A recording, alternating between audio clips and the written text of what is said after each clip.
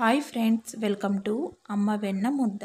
ఈరోజు మన కిచెన్లో ఈజీగా టేస్టీ చికెన్ కర్రీని చూపించబోతున్నానండి. రుచికరమైన గ్రేవీతో చాలా బాగుంటుంది. ఈ చికెన్ కర్రీ చాలా అంటే చాలా ఈజీగా చేసుకోవచ్చు. స్పెషల్లీ వంట రాని వాళ్ళు అలానే బ్యాచిలర్స్ తొందరగా చేసుకోవచ్చు. మరి టేస్టీగా సింపుల్గా చేసే ఈ చికెన్ కర్రీ ప్రాసెస్ ఏంటో చూసేద్దాం. ముందుగా స్టవ్ ఆన్ చేసుకొని మూకుడు పెట్టుకోండి. మూకుడు వేడైన తర్వాతకి త్రీ టేబుల్ స్పూన్స్ ఆయిల్ వేసుకొని హీట్ చేసుకోండి. ఆయిల్ వేడైన తర్వాతకి రెండు బిర్యానీ ఆకులు అలాగే దాల్చిన చెక్క రెండు లవంగాలు మూడు రెండు కపోక్ బడ్స్ టూ అలాగే రెండు యాలకులు వేసుకొని ఫ్రై చేసుకోండి. ఇప్పుడు రెండు మీడియం సైజ్ ఉల్లిపాయలు కట్ చేసి వేసుకోండి.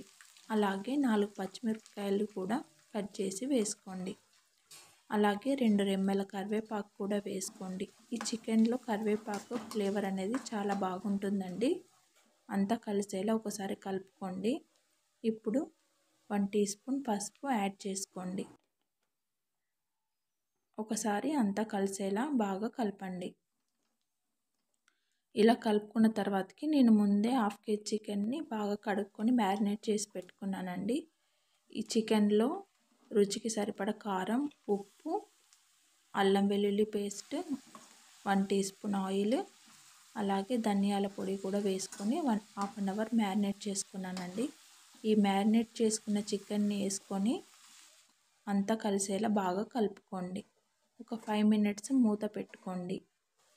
ఫైవ్ మినిట్స్ తర్వాతకి మూత తీసుకొని ఒకసారి బాగా కలుపుకోండి. చికెన్ నుంచి వాటర్ సెపరేట్ అయ్యేంత వరకు ఆయిల్లో మగ్గనివ్వండి. ఇలా సెపరేట్ అయిన తర్వాతకి మన మసాలాలో వాటర్ యాడ్ చేసుకొని బాగా కలుపుకోండి. ఇలా బాగా మిక్స్ చేసుకున్న తర్వాతకి వన్ టీ స్పూన్ ధనియాల పొడి వేసుకోండి. మ్యారినేట్ చేసుకున్నప్పుడు వన్ టీ స్పూన్ వేసుకున్నానండి ధనియాల పొడి. ఇప్పుడు ఒక వన్ టీ స్పూన్ వేసుకున్నాను. అంతా మిక్స్ అయ్యేలా బాగా కలుపుకోండి. ఇప్పుడు చికెన్కి ఆవిరి ఆవిరి పెడుతున్నామండి. ఒక గ్లాస్ వాటర్ యాడ్ చేసుకోండి. ఇలా పెట్టడం వల్ల చికెన్ అడగంటకుండా ఉంటుంది. మీడియం ఫ్లేమ్లో పెట్టుకొని ఒక టెన్ మినిట్స్ కుక్ చేసుకోండి. టెన్ మినిట్స్ తర్వాతకి ఆవిరి నీళ్ళు పడపోసి ఒకసారి కలపెట్టుకోండి. ఇప్పుడు రుచికి ఏమన్నా ఉప్పు టేస్ట్ తగ్గు తక్కువ ఉంటే సాల్ట్ యాడ్ చేసుకోండి. అలాగే కొత్తిమీర ఉంటే కూడా వేసుకోండి. మా దగ్గర లేదు వేసుకోలేదు.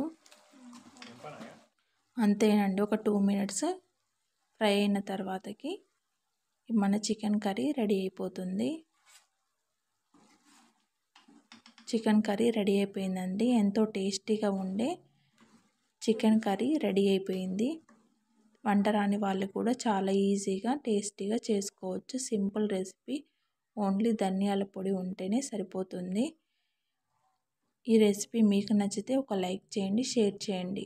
మరిన్ని వీడియోస్ కోసం మన ఛానల్ని సబ్స్క్రైబ్ చేయండి.